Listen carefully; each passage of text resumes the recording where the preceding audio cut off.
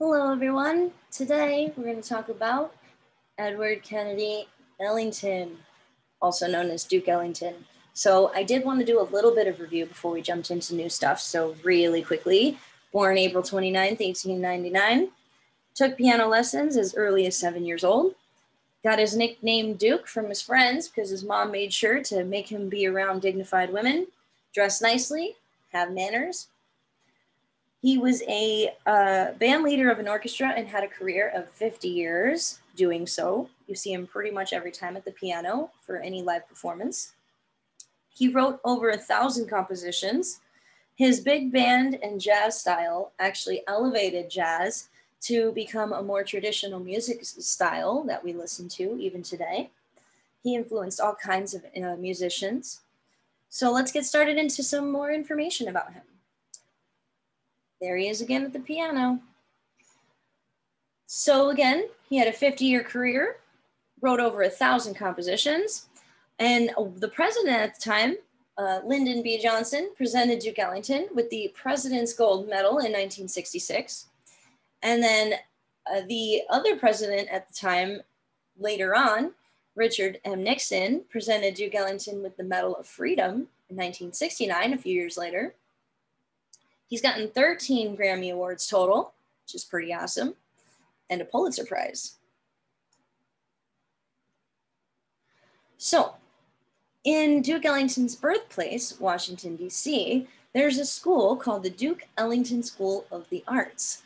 They educate talented students by providing intensive art instruction and very strong academic programs. Duke Ellington passed away May 24th, 1974, of complications from lung cancer and pneumonia, unfortunately, a few weeks before his 75th birthday. At his funeral, he had over 12,000 people attend at the Cathedral of St. John of the Divine, and Ella Fitzgerald, a famous jazz musician, summed up the occasion by saying, It is a very sad day. A genius has passed. After Duke passed away, his son Mercer took over leadership of the orchestra, continuing until his own death in 1996. Like Count Basie's orchestra, this quote unquote ghost band continued to release albums for many years. Ghost band just basically means that the band is still going without their main leader, which was Duke Ellington. Even though they technically had his son as the leader, they just called it Ghost Band. Digital Duke, credited to the Duke Ellington Orchestra, actually won the 1988 Grammy Award for Best Large Jazz Ensemble Album. And Mercer Ellington had been handling all the administrative aspects of his father's business for several decades. And uh, Mercer's children continued uh, a connection with their grandfather's work as well. So it stayed within the family, which is pretty awesome. Many memorials have been dedicated to Duke Ellington in cities from New York and Washington, D.C., all the way out to out here, LA. So today we're gonna listen to a song called Mood Indigo. It's one of his many popular tunes. Um, although Irving Mills, which is Jack Mills' brother and publishing partner, took credit for the lyrics, a guy named Mitchell Parish actually claimed those lyrics in a 1987 interview that he had written the lyrics, which is interesting. The tune was composed for a radio broadcast in October of 1930 and was originally titled Dreamy Blues. It was the first tune I ever wrote specifically for microphone transmission, Ellington recalled. The next day, wads of mail came in raving about the new tune, so Irving Mills put lyrics to it. Renamed it Mood Indigo, and it became a jazz standard. Duke Ellington took the traditional front line, which is the trumpet, the trombone, and clarinet, and actually inverted them, which changed the style a little bit. At the time of the first three recordings in 1930, the usual sound of the horns would be the clarinet, which is the highest, the trumpet in the middle, and the trombone at the bottom.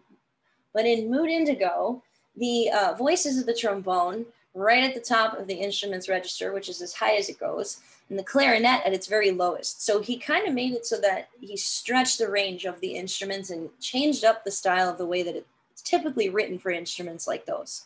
This was unheard of at the time and also created in the studio a so called mic tone an effect that generated by overtones of the clarinet and the trombone, which was tightly muted as well. We remember what mutes are.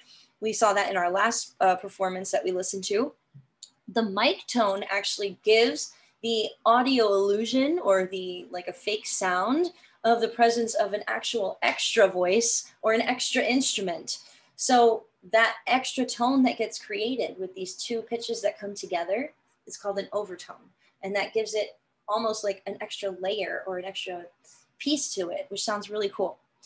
So Duke Ellington used this effect in uh, a few things. So in My Solitude in 1932, Dusk in 1940, and many other pieces as well throughout his career.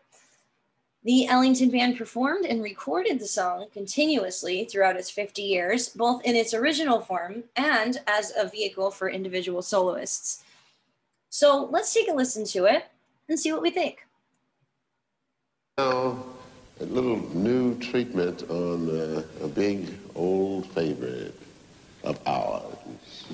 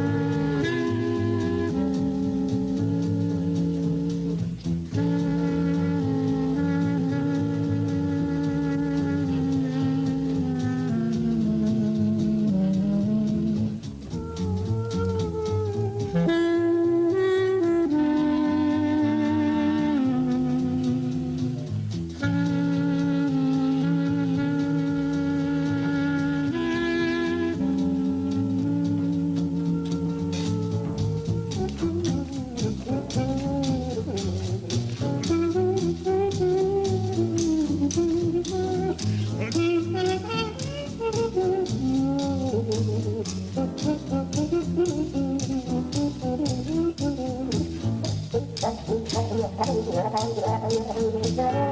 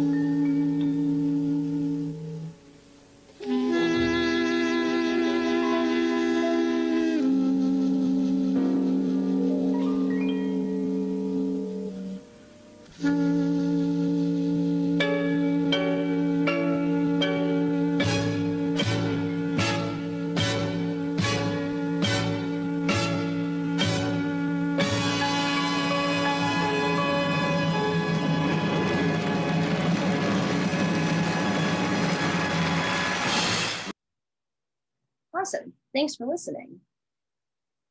I hope you enjoyed that. Alrighty. I'll see you next time.